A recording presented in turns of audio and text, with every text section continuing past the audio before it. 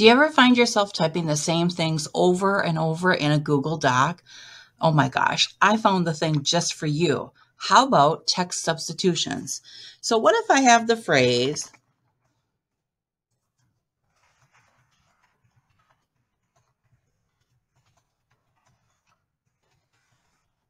I find myself typing that a lot. And you see, it kind of took some time to type that out. Why would I want to do that? So what I'm going to do is I'm going to highlight that so that I can just have that text. I'm going to go into the Tools menu and go down to Preferences.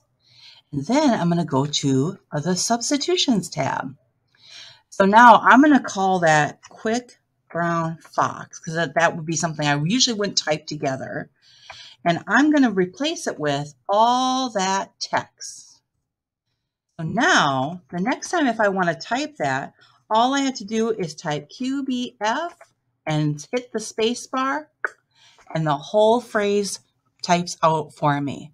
So that is text substitutions in Google Docs.